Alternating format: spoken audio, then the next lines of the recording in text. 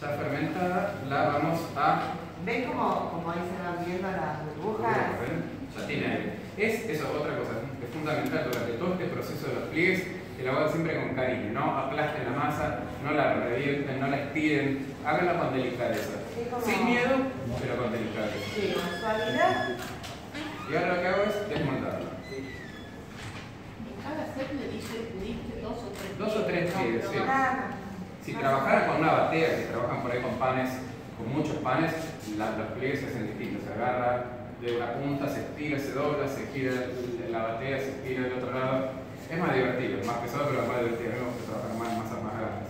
Bueno, una vez que tenemos así, ven la, la masa que le acabo de montar, antes de darle la forma, porque cada vez que trabajamos con la masa, la- la- el gluten se tensa. Entonces, siempre que uno trabaja, deberíamos dejarla descansar un poquitito. Entonces, ahora le voy a dar una pequeña preforma, por ejemplo, hago un plieguecito así y otro así, la acomodo un poquitito y la dejo sobre la mesada con un poquito de harina con la mano. La dejo así sobre la mesada, tapada con una tela, con un bowl, con lo que tengan. ¿No? Perdón. La señora tiene cerrado. Ah, perdón. Decime cuando quieres sacar ese se tapa. Ahora.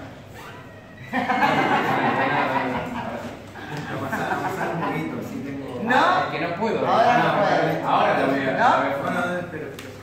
Bueno. Eh, algo importante, la masa que ustedes vieron que Ramón puso un montón de harina acá en la la mejora, eh, pero vieron que cuando él dobló, donde, sobre donde ponía el pie no había harina, que no le queden cantidades industriales.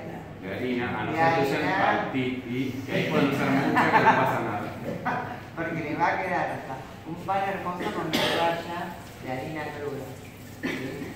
Ya. No empieza como muy, se le empieza a pegar rápido así a penita, como a Eso es, penita me acabas de total. algo importantísimo.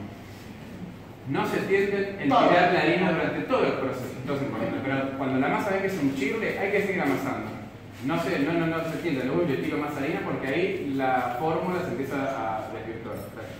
Se empieza a desvirtuar y entonces A eh, van a terminar eh, con, con- con cualquier cosa. Entonces hay que seguir amasando. Cuando la masa está medio chicle, quizás la harina que estén usando no es tan buena, entonces por está absorbiendo, pero si ustedes siguen amasando, en algún momento les va a absorber. Sí.